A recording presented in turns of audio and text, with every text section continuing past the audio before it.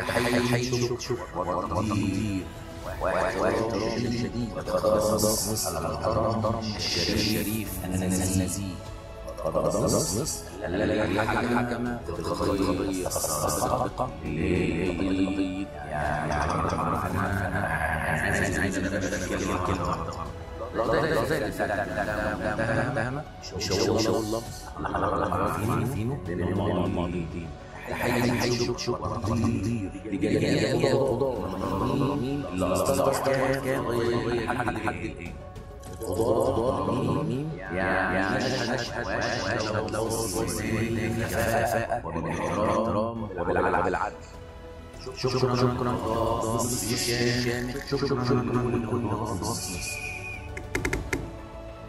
السلام عليكم ورحمة الله وبركاته إخوتي وأخواتي المحترمين والمحترمات الغاليين على قلبي متابعي قناة محمد خير المحامي. أهلا بحضراتكم جميعا. النهاردة أنا طالع علشان خاطر أقول لكم حاجة مهمة أو أصرح بتصريح مهم في قضية الزوج والزوجة. التصريح إيه هو؟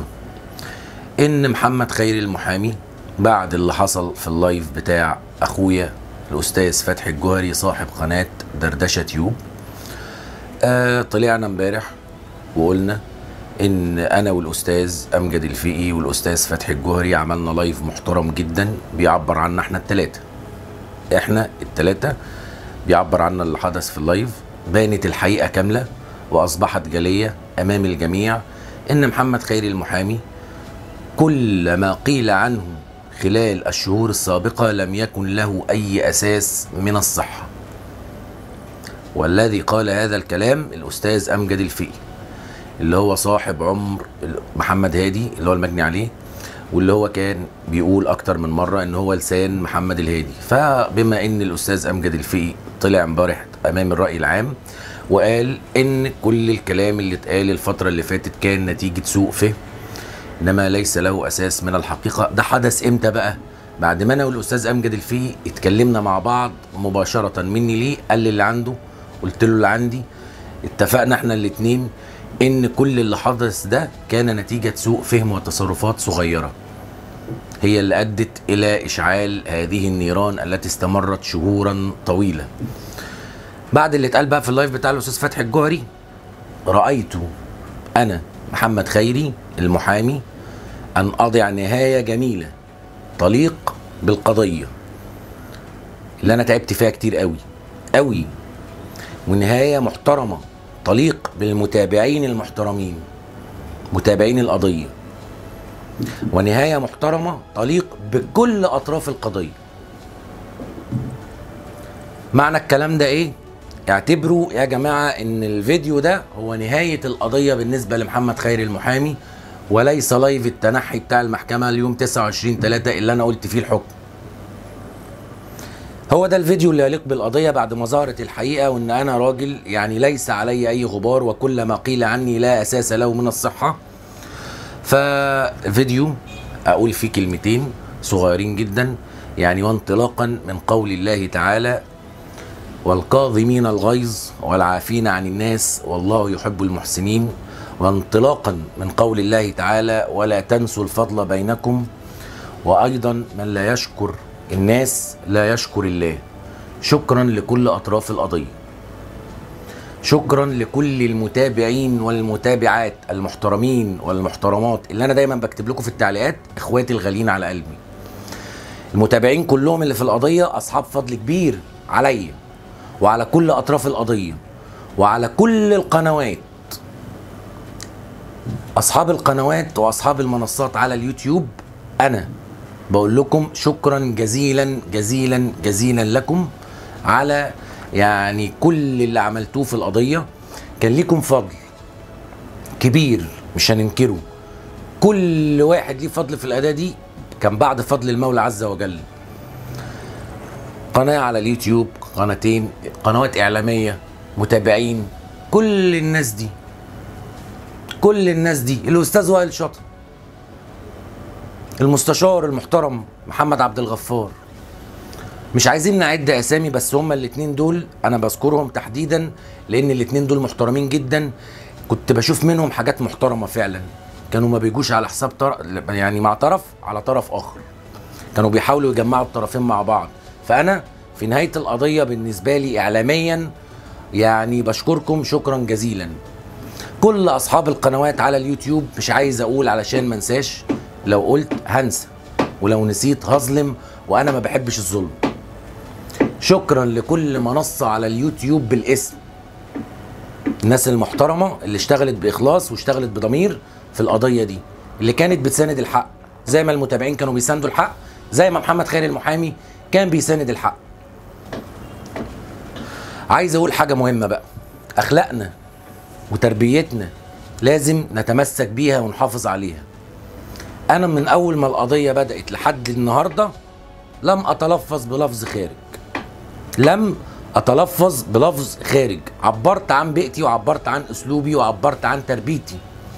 وطالما ذكرنا الأخلاق والتربية وأسلوبي وتربيتي شكرا لأبي ولأمي يعني اللي ربوني التربية اللي المتابعين المحترمين أشادوا بيها في منصات كتيرة قوي.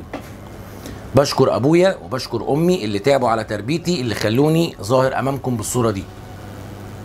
كل الشكر والتقدير والاحترام ليهم وأنحني أمامهم احتراما وتقديرا. أبي وأمي. بالنسبة يعني للمجني عليه الأستاذ محمد الهادي يعني شكرا جزيلا لحضرتك. يعني أنا خلاص مفيش بيني وبينك أي خلافات مفيش بيني وبينك أي حاجة. يعني انتهى الأمر. بتصحيح المسار الخاطئ اللي كان داير أطال الفترات السابقة دي كلها. أنا إن كنت أنت تجاوزت في حقي أو قلت عني كلام أو أنا قلت عنك كلام أمام الرأي العام أهو أنا بقول مفيش بيني وبينه حاجة. خلاص الموضوع انتهى. إحنا برضو الاتنين يعني كان في بينا تعاون في القضية ديت علشان خاطر تصل أمام الرأي العام بهذه الصورة المحترمة اللي أنا بنهيها دلوقتي نهاية محترمة. أنا بقول لك شكرا ربنا معاك. ربنا معاك ويوفقك وتكمل الفترة الصغيرة اللي باقية. على خير حقك يرجع لك القضية. أمام الرأي العام أهو. بقى فيها اللي هو الشوط أنا كنت بقول في الفيديو بتاع المحكمة. فاضل لها شوط أو شوطين. أنا بقول أمام الرأي العام القضية المفروض إن في شهر سبعة اللي إحنا فيه ده يعني هيروحوا اللجنة الثلاثية. هيحدث تحليل الدي ان إيه هيتكتب تقرير من ثلاثة من كبار الأطباء الشرعيين. بناء على نتيجة التقرير هترجع تاني التقرير للمحكمة والمحكمة هتحكم في القضية بناء يعني على ما تراه هيئة المحكمة الموقرة وفقا للتقرير. تمام؟ المفروض إن إحنا كلنا نقول شكرا للمولى عز وجل.